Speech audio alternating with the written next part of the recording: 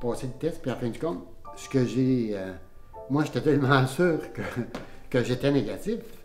J'y ai été d'une façon un petit peu plus euh, dans, le sens. euh, pour employer un mot, là, pas de façon désinvolte, mais j'étais convaincu que je ne l'avais pas.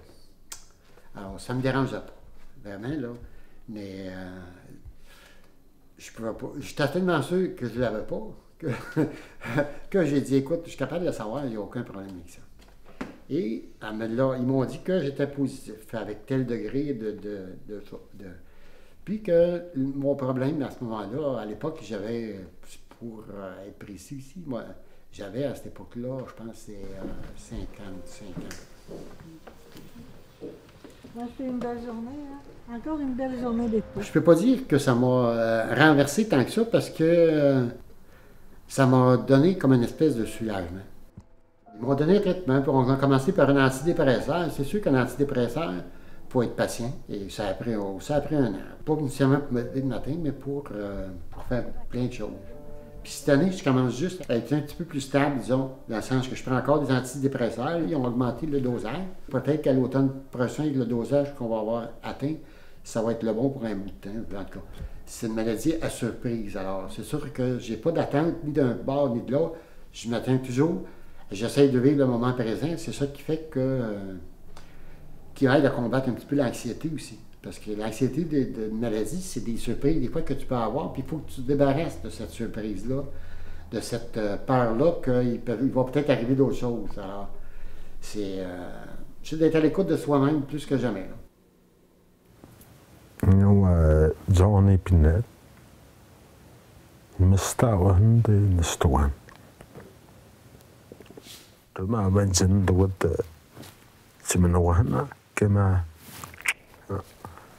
سمنا وهنا كما سوتا تدي سوان دوما Euh, j'ai j'ai décidé de. J'ai passé le test finalement seulement quand un de mes cousins, euh, dans un parti de famille, m'a dit Ah, t'es sûre, Sophie, que t'as pas la maladie de ton père? Me semble que t'es moins solide. J'ai dit On vieillit tout le monde, c'est dur de, de faire la part des choses. Des fois, tu as moins d'équilibre, tu te dandines un peu plus, mais tu sais, bon, hein, on est toutes. euh, on sait, hein, en vieillissant, c'est dur de faire le partage là- là-dedans, de savoir là, c'est quoi les, c'est quoi les problèmes, est-ce que c'est vraiment ça ou juste le vieillissement, mais en tout cas, fait que durant toute cette année-là que ça a pris tout ça, ben, tu sais, dans le fond, je m'étais déjà, tu sais, fait un peu à l'idée que je l'avais. Donc, euh, quand, me je suis allée voir pour le diagnostic, euh, j'étais pas étonnée qu'ils me disent ça, tu comprends? Fait que ça a comme confirmé, dans le fond, quelque chose, même si ça paraissait pas beaucoup encore à, à l'époque. Puis on a-tu des? Euh, fait que j'essaie de bouger, j'essaie de rester euh, active intellectuellement, faire des sudoku, faire des jeux. Il y a toutes sortes de choses qu'on peut faire là, pour euh, essayer de, rester alerte, là, euh, que ce soit d'aller au cinéma, d'aller au théâtre, après d'aller même d'aller prendre un café avec des gens. Fait que moi je me dis bon, on essaye de, de- de rester le plus là, actif possible et puis continuer à travailler. C'est sûr que des fois c'est difficile parce qu'on est fatigué, on est moins, euh, on est moins patient, on, est euh, des fois on, cherche nos mots. euh, des fois, on, a des problèmes de mémoire, donc c'est sûr que c'est pas toujours facile. Oui, c'est maman qui était atteinte.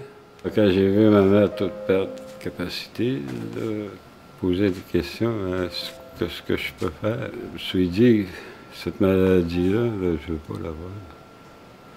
Mais j'ai le gène aujourd'hui. Il n'y a rien changé. La vie continue. Euh, moi, quand j'ai su que j'avais ce gène-là, je l'ai accepté. Avant, j'avais beaucoup d'inquiétudes. Comment je te dirais ça, ma conscience, restait tranquille. Je pose plus de questions.